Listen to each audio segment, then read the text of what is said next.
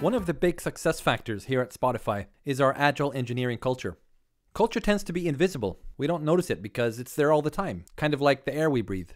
But if everyone understands the culture, we're more likely to be able to keep it and even strengthen it as we grow. So that's the purpose of this video. When our first music player was launched in 2008, we were pretty much a Scrum company. Scrum is a well established agile development approach, and it gave us a nice team based culture. However, a few years later, we had grown into a bunch of teams and found that some of the standard Scrum practices were actually getting in the way. So we decided to make all this optional. Rules are a good start, but then break them when needed. We decided that Agile matters more than Scrum, and Agile principles matter more than any specific practices. So we renamed the Scrum Master role to Agile Coach because we wanted servant leaders more than process masters.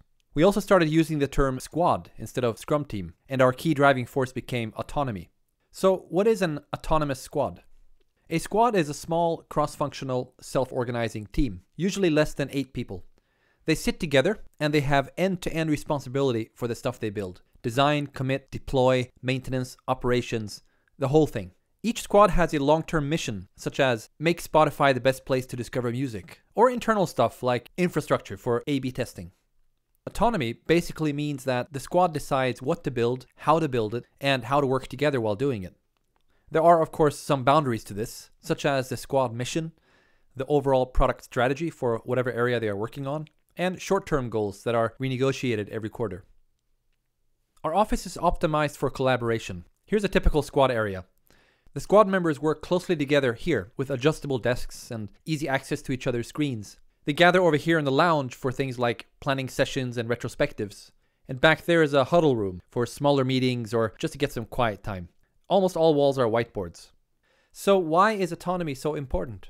Well, because it's motivating, and motivated people build better stuff. Also, autonomy makes us fast by letting decisions happen locally in the squad instead of via a bunch of managers and committees and stuff. It helps us minimize handoffs and waiting so we can scale without getting bogged down with dependencies and coordination. Although each squad has its own mission, they need to be aligned with product strategy, company priorities, and other squads. Basically, be a good citizen in the Spotify ecosystem. Spotify's overall mission is more important than any individual squad. So the key principle is really be autonomous, but don't sub-optimize. It's kind of like a jazz band. Although each musician is autonomous and plays his own instrument, they listen to each other and focus on the whole song together. That's how great music is created. So our goal is loosely coupled but tightly aligned squads. We're not all there yet, but we experiment a lot with different ways of getting closer. In fact, that applies to most things in this video. This culture description is really a mix of what we are today and what we are trying to become in the future. Alignment and autonomy may seem like different ends of a scale, as in more autonomy equals less alignment. However, we think of it more like two different dimensions. Down here is low alignment and low autonomy, a micromanagement culture. No high level purpose, just shut up and follow orders. Up here is high alignment, but still low autonomy. So leaders are good at communicating what problem needs to be solved, but they're also telling people how to solve it. High alignment and high autonomy means leaders focus on what problem to solve, but let the teams figure out how to solve it. What about down here then? Low alignment and high autonomy means teams do whatever they want and basically all run in different directions. Leaders are helpless and our product becomes a Frankenstein. We're trying hard to be up here. Aligned autonomy. And we keep experimenting with different ways of doing that. So alignment enables autonomy. The stronger alignment we have, the more autonomy we can afford to grant. That means the leader's job is to communicate what problem needs to be solved and why, and the squads collaborate with each other to find the best solution. One consequence of autonomy is that we have very little standardization. When people ask things like, which code editor do you use, or how do you plan, the answer is mostly, depends on which squad. Some do Scrum sprints, others do Kanban. Some estimate stories and measure velocity, others don't. It's really up to each squad. Instead of formal standards, we have a strong culture of cross pollination. When enough squads use a specific practice or tool, such as Git, that becomes the path of least resistance, and other squads tend to pick the same tool. Squads start supporting that tool and helping each other, and it becomes like a de facto standard. This informal approach gives us a healthy balance between consistency and flexibility. Our architecture is based on over 100 separate systems coded and deployed independently. There's plenty of interaction, but each system focuses on one specific need, such as playlist management, search, or monitoring. We try to keep them small and decoupled with clear interfaces and protocols. Technically, each system is owned by one squad. In fact, most squads own several. But we have an internal open source model, and our culture is more about sharing than owning. Suppose Squad 1 here needs something done in System B, and Squad 2 knows that code best. They'll typically ask Squad 2 to do it. However, if Squad 2 doesn't have time, or they have other priorities, then Squad 1 doesn't necessarily need to wait. We hate waiting. Instead, they are welcome to go ahead and edit the code themselves, and then ask Squad 2 to review the changes. So anyone can edit any code, but we have a culture of peer code review. This improves quality and, more importantly, spreads knowledge. Over time, we've evolved design guidelines, code standards, and other things to reduce engineering friction, but only when badly needed. So on a scale from authoritative to liberal, we're definitely more on the liberal side. Now, none of this would work if it wasn't for the people. We have a really strong culture of mutual respect. I keep hearing comments like, my colleagues are awesome. People often give credit to each other for great work and seldom take credit for themselves. Considering how much talent we have here, there is surprisingly little ego. One big aha for new hires is that autonomy is kind of scary at first. You and your squad mates are expected to find your own solution. No one will tell you what to do. But it turns out, if you ask for help, you get lots of it, and fast. There's genuine respect for the fact that we're all in this boat together and need to help each other succeed. We focus a lot on motivation. Here's an example an actual email from the head of people operations. Hi, everyone. Our employee satisfaction survey says 91% enjoy working here and 4% don't. Now, that may seem like a pretty high satisfaction rate, especially considering our growth pain. From 2006 to 2013, we've doubled every year and now have over 1,200 people. But then he continues This is, of course, not satisfactory, and we want to fix it. If you're one of those unhappy 4%, please contact us. We're here for your sake and nothing else. So, good enough isn't good enough. Half a year later, things had improved, and satisfaction rate was up to 94%. This strong focus on motivation has helped us build up a pretty good reputation as a workplace. But we still have plenty of problems to deal with, so yeah, we need to keep improving. Okay, so we have over 50 squads spread across four cities. Some kind of structure is needed.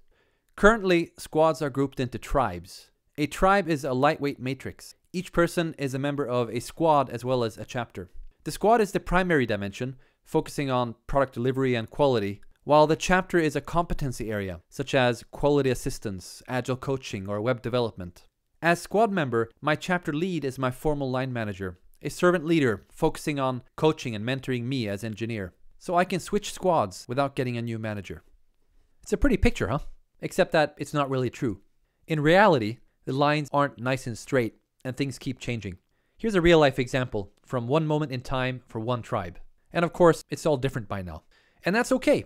The most valuable communication happens in informal and unpredictable ways.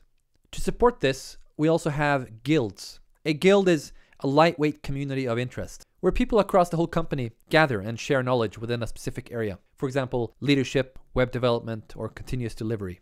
Anyone can join or leave a guild at any time. Guilds typically have a mailing list, biannual unconferences, and other informal communication methods. Most organizational charts are an illusion, so our main focus is community rather than hierarchical structures. We've found that a strong enough community can get away with an informal, volatile structure.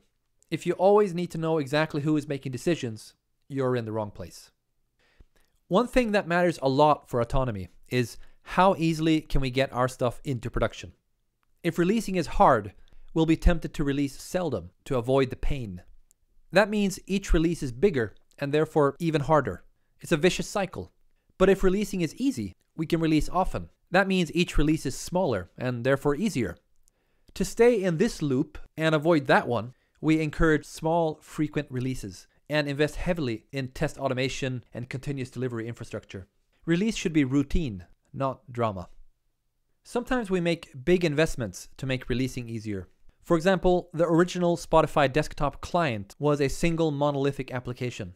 In the early days, with just a handful of developers, that was fine. But as we grew, this became a huge problem. Dozens of squads had to synchronize with each other for each release, and it could take months to get a stable version.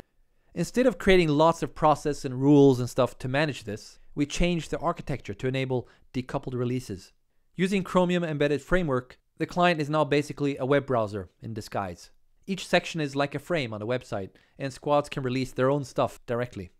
As part of this architectural change, we started seeing each client platform as a client app and evolved three different flavors of squads client app squads, feature squads, and infrastructure squads.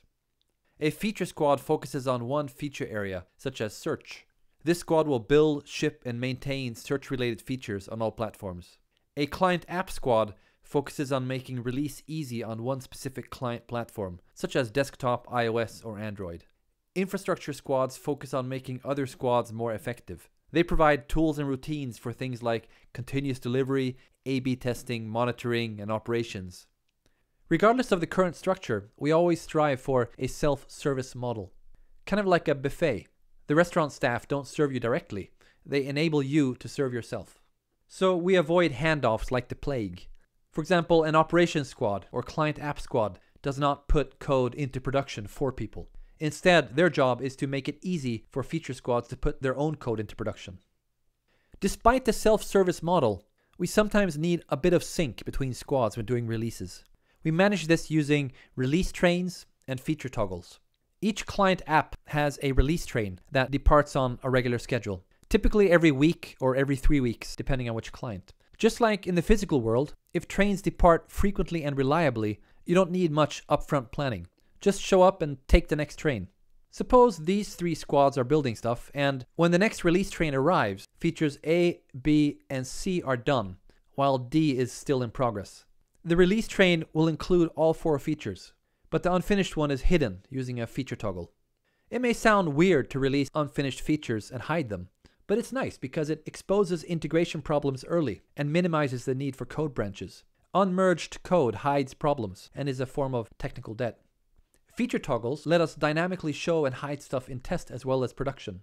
In addition to hiding unfinished work, we use this to A B test and gradually roll out finished features.